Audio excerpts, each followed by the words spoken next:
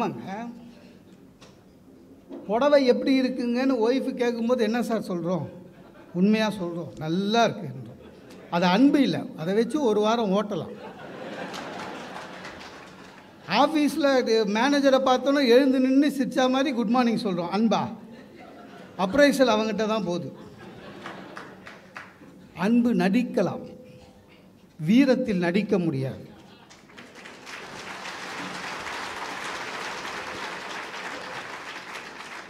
சோகமாகவும் நடிக்கலாம். ராஜ ராஜா ரசம் மூஞ்ச பாருங்க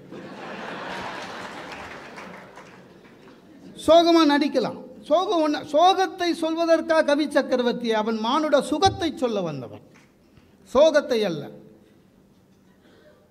சார் சோகம் ஒரு எல்லா சில பேர் மூஞ்சி உத்து பாருங்க சார். ரெண்டு நிமிஷத்தில் நமக்கு தானாக அழுவும். நான் அழுதுருக்கேன். நீங்கள் கடன் கொடுத்தவன் திருப்பி கொடுக்காம தெருமுனையில் போகும்போது பாருங்கள் தானாக தண்ணி வரும். ஒரு டெத்து வீட்டுக்கு போங்க. அந்த அம்மா அழுவுது. என்ன தனியாக விட்டு போயிட்டீங்களே என்ன தனியாக விட்டு போயிட்டீங்களேன்னு சோகம் நம்மளுக்கு வரும். ஆனால் நினைப்போம். கூப்பிட்டா மட்டும் நம்ம கூடவா போக போகிறேன் அவர் போனதே உந்துள்ள தவங்காம தான். ஆக சோகம் என்பது சோகம் என்பதை விட இதை சொல்லுவதற்கு கவி சக்கரவர்த்தி வர வரவில்லை. கவி சார் கம்பனே வீரத்தின் விளைநிலமாக இருக்க வேண்டும் தன் காப்பியம் என்பதனால்தான் தன்னுடைய ஒட்டுமொத்த இலக்கியத்தில் ஒட்டுமொத்த படைப்பில் பாதிக்கு மேல் யுத்த காண்டமாக வைத்தான். ஆக தான் என்னென்ன மாட்சிமைகளை நினைக்கிறோமோ எல்லாத்தையும் யுத்த காண்டத்தில் கொடுக்குறான். காப்பியத்தை பிரம்மாண்டமாக அமைக்க வேண்டும் என்று ஆசைப்படுகிறான் கவி சக்கரவர்த்தி. அப்போ காப்பிய நாயகனை மிகப்பெரிய வீரனாக காட்ட வேண்டும்.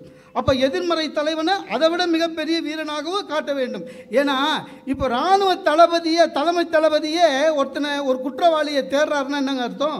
குற்றவாளி பெரிய ஆளாக இருக்கணும். பிக் பேக்கெட்டியாக தேடுவார்? அதுக்கு நம்ம ஏட்டையா போதும். இல்லையா? ஆக ராவணனுடைய வீரத்தையும் காட்டுகிறான் ராமனுடைய வீரத்தையும் காட்டுகிறான். கவி சக்கரவர்த்திக்கு பிடித்ததே வீரம்தான். சார் ஒன்று நமக்கு எது பிடிக்குதோ அதையே தான் நினைப்போம் தெரியுமா? அதே தான் வரும். ராஜாராம் ஐயா சொன்னாங்க சோகத்தை மறந்துருவோன்னு. பர்த்டே நம்மளே பிறந்தோம். எல்லாருக்கும் ஞாபகம் இருக்கும். வெட்டிங் டே மறந்துடுவோம் பார்த்துக்கிறீங்களா? சோகத்தை அப்படியே மறந்துடுவான் சார். ஆனால் லேடிஸ் மறக்க மாட்டாங்க. ஏன்னா அவங்க ஆட்சி அதிகாரத்துக்கு வந்த நாள். அவங்க மறக்க மாட்டாங்க. கம்பனுக்கே தன்னுடைய வீரத்தை பிடித்து தான் எங்கே பார்த்தாலும் சொல்லிக்கிட்டே சார் சொல்லிக்கிட்டே இருப்பான் சார்.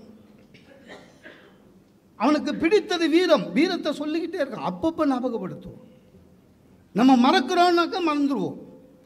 சார் என்கேஜ்மெண்ட் முடிஞ்ச பையன் போகிறவனெல்லாம் இழுத்து இழுத்து கொடு சொல்லுவான். சார் என்கேஜ்மெண்ட் முடிஞ்சிச்சு சார். செப்டம்பர் பதினொன்று கல்யாணம். செப்டம்பர் பதினொன்று கல்யாணம். எது? அந்த அமெரிக்காவில் ரெட்ட கோபுரம் உழுந்த நாள். சொல்லுவான். கல்யாணத்துக்கு அப்புறம் ஆறு மாதம் கழித்து ஒருத்தன் கேட்பான் அவனை தம்பி கல்யாணம் ஆயிடுச்சுன்னாரு உங்களுக்கு எப்படி தெரியும்? அப்படின்னு. ஏன்னா அவன் கல்யாணத்தை மறந்துட்டான். இல்லை மறைக்கிறான். ரெண்டுத்தில் ஒரு விஷயம். கம்பன் பாருங்கள் முதல்ல இருந்தே நம்மளை எதுக்கு ரெடி பண்ணுறான் தெரியுமா? யுத்த காண்டத்துக்கு ரெடி பண்ணுறான் சார் தயரதனுக்கு முடி வெள்ளையாகுது. ராவண மரணம். கூனியை அறிமுகப்படுத்துகிறான் ராவண மரணம்.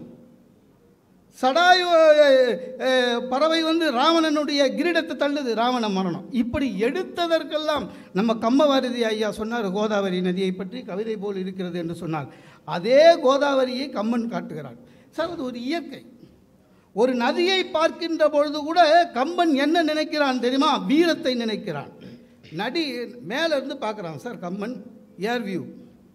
அப்போ மேலே இருந்து பார்க்கும்போது நதியை வளைஞ்சி வளைஞ்சி ஓடி வருது வெள்ளையா. அன்பை சொல்லவன் அன்பு உதாரணம் சொல்லியிருக்கணும். இல்லை சோகத்தை சொல்ல வந்தவனாக இருந்தால் அதை சோகத்தை காமிச்சிருக்கணும். ரெண்டும் காமிக்கல. அந்த கோதாவரி வளைஞ்சி வளைஞ்சி வர்றது எப்படி இருக்குன்னா ராவணனுக்கு ம- அருந்து விழுந்த முத்து மாலை மாதிரி இருக்கு. அப்போ எதை பார்த்தாலும் வீரத்தின் விளைநிலமாகவே கம்பன் பார்க்கிறான். ஆக வீரம்தான் முதன்மையிலே இருக்க வேண்டும். அன்போடு இருந்தால் போர் ஒடுங்கும் புகழ் ஒடுங்காது. இது ராமனுக்கு வசிட்டன் சொன்னது. ராமன் யார்கிட்டையும் பகைமை கொள்ளவில்லை. ஆனால் ராமன் யுத்த களத்திலே நிற்க வைக்கிறான் கவி சக்கரவர்த்தி. எதுவாக இருந்தாலும் சரி தன்னுடைய மாட்சிமை காட்சிகளை எல்லாம் அவன் வீரத்தில் தான் எடுத்துக்கொண்டு வருகிறான். மாயா சீதையை கொள்ளுகிறான் இந்திரஜித். உடனே ஓடி வருகிறான் அவன் போகும்போது சொல்லிட்டு போயிட்டான். நான் போய் அத்தோ அயோத்தியை க்ளோஸ் பண்ணிட்டு போகிறேன்னு ராமன் வழக்கம் போல் மயக்க அடித்து விழுந்துட்டான். தச இலக்குவன் சொல்கிறான் ராமனை பார்த்து சோகம். ராமன் சோகத்தில் இருக்கிறான். இலக்குவனும் சோகத்தில் இருக்கிறான். ஆனால் இலக்குவன் சொல்லுகிறான் எந்த சோகத்தையும் சரி செய்ய முடியும் என்றால்?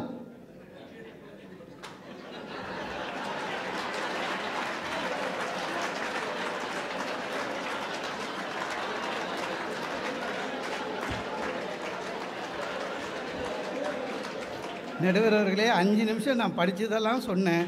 கையே தட்டலை. கொஞ்சம் குடிச்சே அதுக்கு கை தட்டுறாங்க இலக்குவன் சொல்லுகிறான் சோகமாக இருக்கிறாயே சார் இலக்குவனை போல ஒரு தம்பி யாருமே இல்லை. இல்லை. தான் அண்ணன் தான் பதவிக்கு வரணும்னு இந்திய வரலாற்றிலே நினைச்ச முதல் தம்பி இலக்குவன். கடைசி தம்பியும் இலக்குவன்.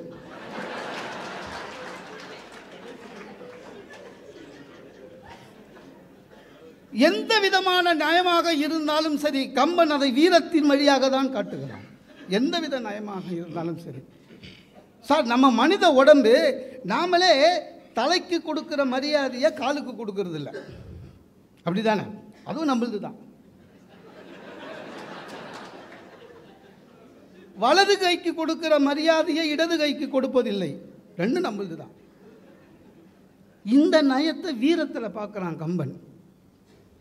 ராமன் நாணை இழுக்கிறான் இடது கை முன்னாலே போகிறது வலது கை பின் காது அருகே வருகிறது. இப்போ இடது கை வலது கையை கேட்குதான் ஒன்றும் இல்லைங்க. ஒரு ஆள் அரெஸ்ட் பண்ணிட்டாங்க லஞ்சம் வாங்கிட்டான்னு. அப்போ அரெஸ்ட் பண்ண வந்த ஆஃபீஸர் ரெண்டு கைக்கும் விலங்கு போட்டார். இடது கை கேட்டு தான் இந்த போலீஸ்காரனுக்கு ஒன்றுமே தெரியல. என்ன? வாங்கினதெல்லாம் நீ. டேபிளுக்கு மேலே வாங்கினேன் கீழே வாங்கினேன். எக்ஸ்ட்ரா மார்க் போட்டு அதுக்கு காசு வாங்கினேன். டெண்டரில் கையெழுத்து போட்டது நீ. ஆனால் அரெஸ்ட் பண்ணும்போது என்னையும் சேர்த்து அரெஸ்ட் பண்ணுறாங்களே கம்பன் காட்டிய இடது கை என்ன சொல்லிச்சான் வலது கையை பார்த்து இது ரொம்ப அநியாயம். ஏதாவது க ராமன் கொடுக்கறதா இருந்தால் நீ முன்னால் வர.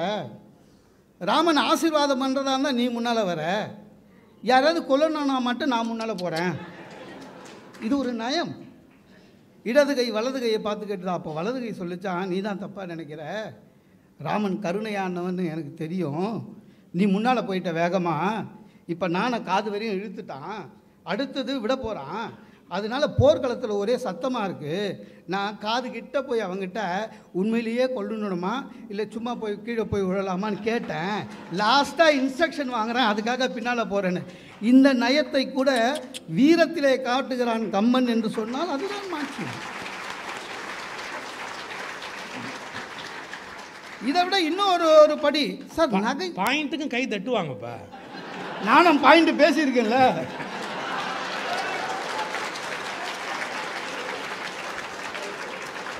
உங்கள் தயாரிப்பாச்சு அது இல்லாமல் கீழே சாரதா கவரை விரட்டி அனுப்பிச்சாங்க. பாயிண்ட்டும் பேசு. நகைச்சுவை உணர்வை எடுத்துட்டு வந்து நையாண்டியை எடுத்துட்டு வந்து போர்க்களத்தில் வைக்கிறான் சார் கம்மன்.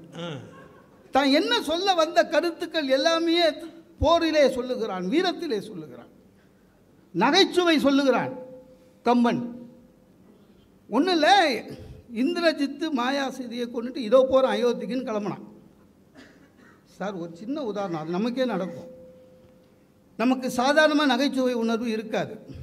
ஏதாவது விஷயத்தில் பயந்துட்டோம் வச்சுங்களேன் மூஞ்சி மாறிடும். இருண்டுடுவோம் திக்குன்னு இருக்கும். அது நம்மளுக்கு இல்லைன்னு தெரிஞ்சதுன்னா ஒரு பெரிய ரிலீஃப் வரும். மகிழ்ச்சியோடு அப்போ தான் நகைச்சுவை வரும். ஆமாம். பயாப்சி ரிப்போர்ட்டு கொடுத்துட்டு லேபுக்கு போய் இவன் ரிப்போர்ட் வாங்க போகிறான் அவன் லேபுக்காரன் தப்பாக என்ன பண்ணிட்டான்? அவன் சாரி சார்னு கொடுத்துட்டான். பாசிட்டிவ்னு மூஞ்சி மாறிடுச்சு. ஏன்னா பாசிட்டிவ்னா முடிஞ்சு போச்சு வாழ்க்கை. மூஞ்சி மாறிடுச்சு. பார்க்குறான் என் பேர் இல்லையப்பா சாரி சார் மாற்றி கொடுத்துட்டேன். ஆ எந்து? நெகட்டிவ் நமக்கு அப்போது வேற எவனாவது நாசமாக போனாலும் பரவாயில்ல. அவனுக்கு கேன்சர் வந்தானா என்ன வந்தானா? நம்ம சேஃப் அத்தோட வாங்கின்னு வரமாட்டோம். உடனே என்ன சொல்லுவான்? இதே தானா ஆள் மாற்றி மாற்றி கொடுக்குறீங்க. பேர் பார்த்து கொடுக்குறியா? மூஞ்சி பார்த்து கொடுக்குறியா? இதெல்லாம் நம்ம கேட்போம். எப்போ ரிலீஃப் ஆன உடனே இது அனுமனுக்கு வருதுங்க. இந்திரஜித்து சொல்லிட்டு போகிறான் என்ன? போய் நான் அயோத்தியில் போயிட்டு பரதனையும் சத்ருகனையும் கொன்று விடுகிறேன். அயோத்தியை நிர்மூலமாக்கிடுவேன். அனுமன் நம்பிட்டான். அனுமன் முகம் இருண்டுடுச்சு. இவ்வளோ கஷ்டப்பட்டு எல்லாம் போயிடுச்சேன்னு. ராமன் அந்த இடத்துல இல்லை. ராமன் வரான். எது வந்து கேள்விப்பட்டவனு மயக்கம் போடுவான். ராமன் வரான். வந்த உடனே இவன் உண்மை நினச்சி பயந்த போது வீடனன் சொல்கிறான் இதில் ஏதோ சூது இருக்குது நான் போய் பார்த்துட்டு வரேன்னு சொல்லி இல்லை அது பொய். இவன் யாகம் செய்து கொண்டு இருக்கிறான்னு அனுமனுக்கு தான். நெகட்டிவ்னு ரிசல்ட் வாங்கின சந்தோஷம். வால் இருக்குல்ல அதனால கொஞ்சம் குறும்பும் இருக்கும். நேராக போய் இந்திரஜித்திட்ட கேட்குறான் என்ன? ஏதோ அயோத்திக்கு போகிறேன்னு போய் போயிட்டு வந்துட்டிங்களா இதுக்குள்ளே? சத்தமே கேட்கல. சத்தம் போடாமல் சண்டை போடுறீங்களா? இதெல்லாம் கேட்கிறான் என்று சொன்னால் தன்னுடைய நகைச்சுவை உணர்வை கம்பன் தன்னுடைய வீர காட்சிகளிலே காட்டுகிறான். மனிதநேயத்தை வீர காட்சிகளிலே காட்டுகிறான். ஒரு ஐயா சொன்னது தான் ஒரு சோகம் ஒரு அன்பு. சார் ராவணன் இறந்து கிடக்கும்போது ஐயா சொன்னார்ல விழுப்புண்ணு நினச்சிட்டு இது வந்து புறம் முதுகா அதெல்லாம் கேட்கும்பொழுது என்ன சொல்லியிருக்கணும்? உண்மையிலேயே அன்பை சொல்ல வருகிறான் என்று சொன்னால் என்ன சொல்லியிருக்கணும்? எங்கள் அண்ணன் என்னை எப்படியெல்லாம் வளர்த்தார் தெரியுமா? அப்படி தானே அழுதுருக்கணும். என்ன சொல்லியிருக்கணும்? அண்ணா உன்னை போய் இந்த மாதிரி கே சந்தேகப்பட்டுட்டாங்களேன்னு அழுதுருக்கணும். அதுவும் இல்லை. ராமனையே கோபமாக பேசுகிறான்.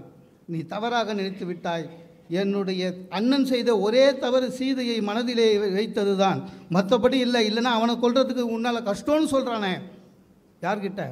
ராமன்கிட்டயே. எந்த ராமன் கிட்ட போன வாரம் தான் உடன்பிறப்பேன்னு சொன்னான். ஆமாங்க. நின்னோடு எழுவரானவன் சொன்னார்ல. நான் ராமாயணம் தான் பேசின்னு இருக்கேன்.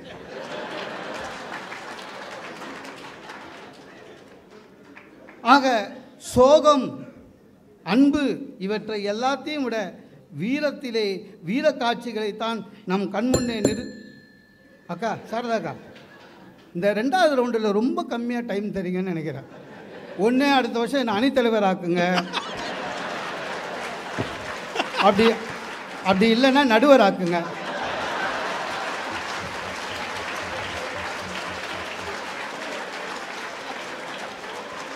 நானும் என் இஷ்டத்துக்கு பேசிக்கிறேன். நன்றி வணக்கம்.